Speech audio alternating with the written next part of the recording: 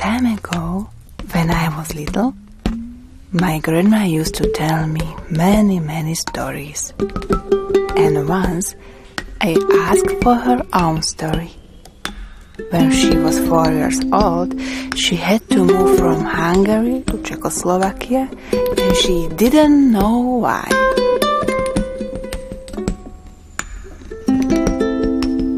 But dusted stories of hurt, pain, and love stayed alive.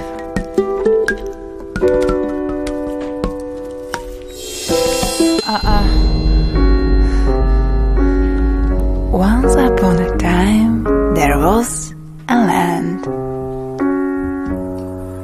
Then came people and they started to fight. They mixed together in a big chaos. They fought and moved, fought and moved, fought and moved, and after World War One, they made up the borders. But they were still not satisfied and very hungry. The devil became alive once again. December 1.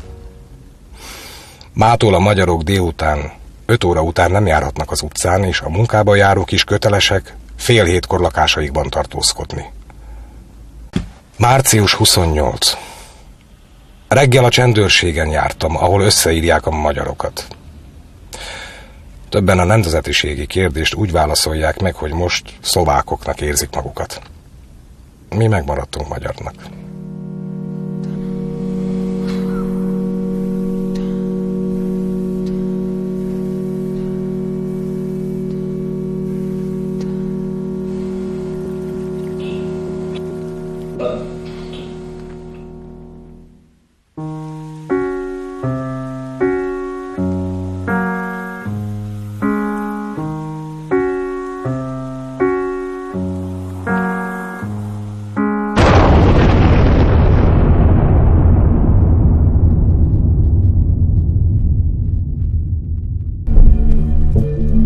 But my family were not the only ones affected by loss of their home.